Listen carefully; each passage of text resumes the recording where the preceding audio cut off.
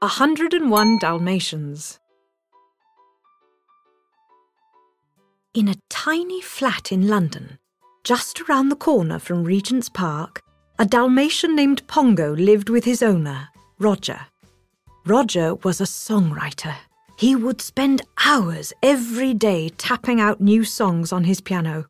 Pongo enjoyed listening to the music, but sometimes life could get pretty dull. He was certain that Roger would be much happier if he met someone. Pongo was pretty sure he'd be happier with a companion, too. Then one day, Roger took Pongo for a walk in the park. They passed a lovely young woman reading by the pond. With her was the most beautiful Dalmatian Pongo had ever seen. It was almost too good to be true. But the woman and her Dalmatian were leaving the park. Pongo needed to act fast. He started to bark. Then he tugged at his leash and yanked Roger directly in front of the young woman.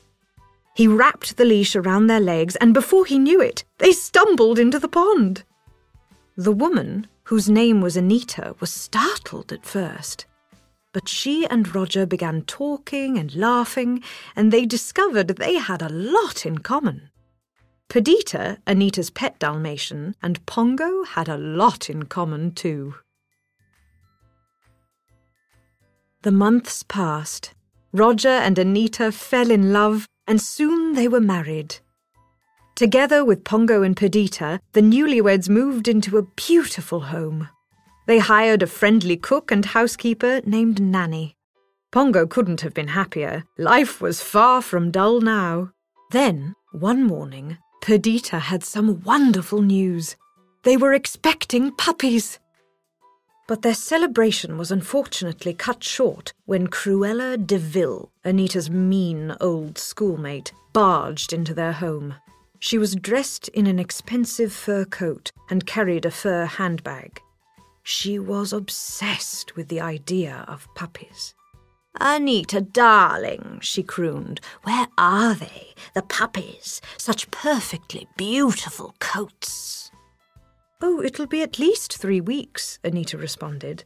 Perdita had overheard the conversation and cried to Pongo, She wants our puppies! She can't possibly love them! Oh, Pongo! Three weeks passed quickly, and in that time excitement rose in their London home. Soon enough, Nanny was shouting, The puppies are here! The puppies are here! Pongo and Roger found Perdita and Anita surrounded by 15 adorable puppies.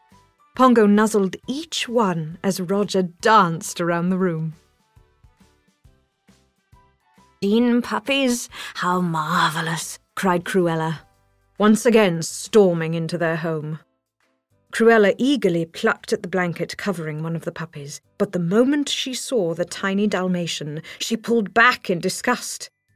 They're mongrels. Why, they don't have any spots, she said. They are not mongrels. They'll get their spots. Just wait and see, Nanny exclaimed. Cruella's devilish grin returned. In that case, I'll take them all. As Cruella began writing a cheque, spraying ink everywhere, Roger saw Anita's sad expression. He firmly shook his head. We're not selling the puppies.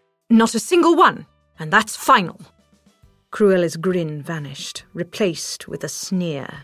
She was furious.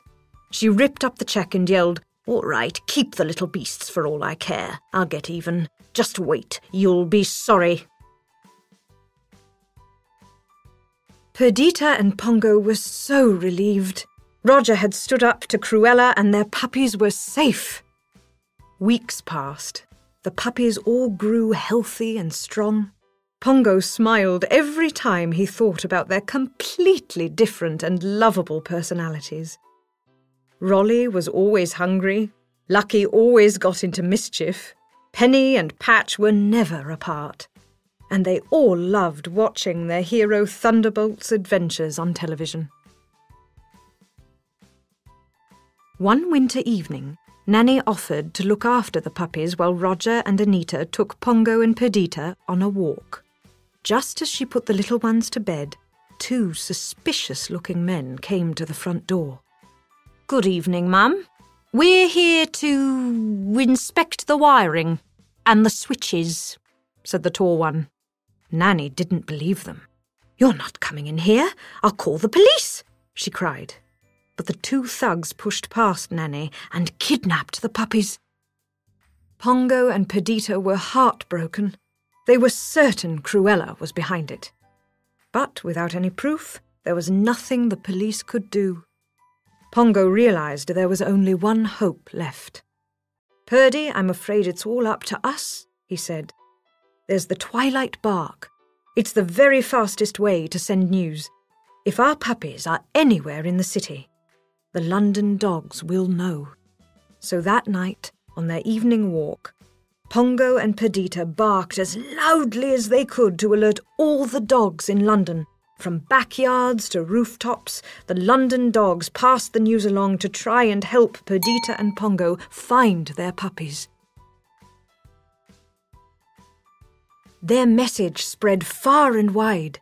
Miles away, in the sleepy countryside, an old sheepdog called the Colonel caught wind of the distant barks. Sounds like an alert, it's from London. Fifteen spotted puddles stolen. Confused, he listened again. Of course! Puppies! he said to his friends. A tabby cat named Sergeant Tibbs responded, Colonel, sir, two nights past I heard puppy barking. He remembered it came from the De Vil manor. The colonel nodded. Well, I suppose we'd better investigate. On the double man, Sergeant Tibbs saluted as he left the barn. Yes, sir. Right away, sir. Sergeant Tibbs crept over to the dreary, crumbling mansion and carefully peeked inside.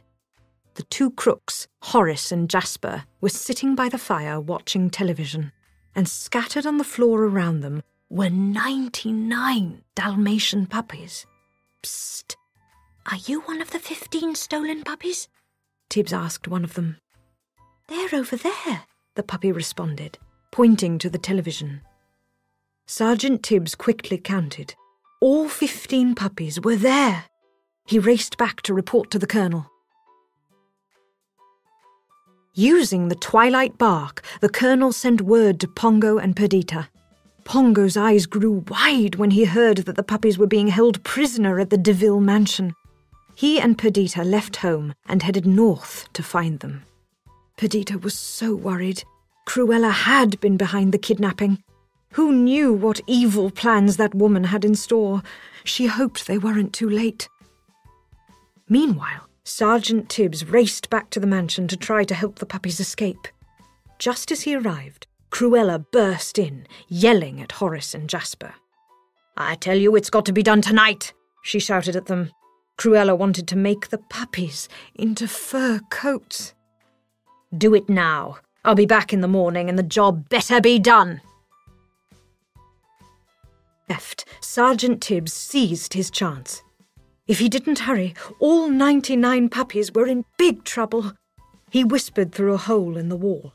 Psst, kids, follow me. One by one, the puppies snuck out through the hole. The last puppy was escaping when Jasper turned around. Horace, look! They're gone! he called. The two crooks chased the puppies through the mansion and eventually cornered them in the living room. Sergeant Tibbs tried to shield the Dalmatians, but he was too small to protect all 99. Just as Jasper was raising his club to strike, Pongo and Perdita burst through a window. They snarled and yapped, fighting off the crooks so the puppies could escape back to the barn. Then Pongo and Perdita raced away too. Safe at the barn, Perdita nuzzled Rolly, Lucky, Penny, Patch, and the rest of her darling puppies. But there were more than just her own puppies to look out for now. Pongo gazed out the window at the snowy countryside. Horace and Jasper were sure to come after them and that meant Cruella would be close behind. It was risky, but there was only one choice. We have to get back to London somehow, Pongo declared. Purdy, we'll take them home with us. All of them. Braving the bitter cold. Pongo and Perdita led the 99 puppies across the ice and snow back toward London. It was a long, slow journey, and the puppies grew cold and tired. Along the way, a friendly cocker spaniel offered them shelter in a dairy barn so they could warm up. They were miles from the De Vil mansion by now. But they weren't safe yet. Somehow, Cruella had followed their tracks and was right outside. Luckily, a black Labrador retriever found them a ride to London in a moving van. But Pongo, there's Cruella, Perdita pointed out. How will we get to the van? Then Pongo saw that a few of the puppies had been rolling around in a dusty pile of soot from the fireplace. He had a great idea and started rolling in the soot too. Look, I'm a Labrador, he cheered. Come on, kids! One of the puppies smiled. I've always wanted to get good and dirty. Soon the van was ready to leave for London. Pongo quickly rolled each of the puppies in the soot. Then, one by one, he and Perdita carried them onto the moving van. Their disguise worked! Cruella saw them and thought they were black Labrador puppies. But just as Perdita and Pongo were loading the last puppy, a clump of snow fell on him, wiping off the soot. Cruella saw the clean puppy and knew she had found them. There they go! she shouted as the van drove off. Cruella was furious. Ranting and raving, she slammed her car into the side of the van. She wanted to drive them off the road. The moving van teetered on the edge of an embankment. It was about to tumble over. Out of nowhere, Horace and Jasper came skidding down the hill. They were trying to catch the van too, but they hit Cruella's car instead. The villains plummeted down the slope, slipping and sliding until they crashed at the very bottom. Cruella crawled out of the wreck and cried, You fools! Pongo and Perdita sighed. They were safe at last. Back at home in London, Roger and Anita were very sad. First, their puppies had been stolen, and now Pongo and Perdita were missing. But suddenly, Pongo, Perdita, and the puppies burst into the room. Roger and Anita were overjoyed until they noticed all of the puppies. Roger, Anita, and Nanny started counting. A hundred and one, said Anita. What'll we do with them? Roger grinned. We'll keep them. We'll buy a big place in the country. We'll have a Dalmatian plantation. And that's exactly what they did.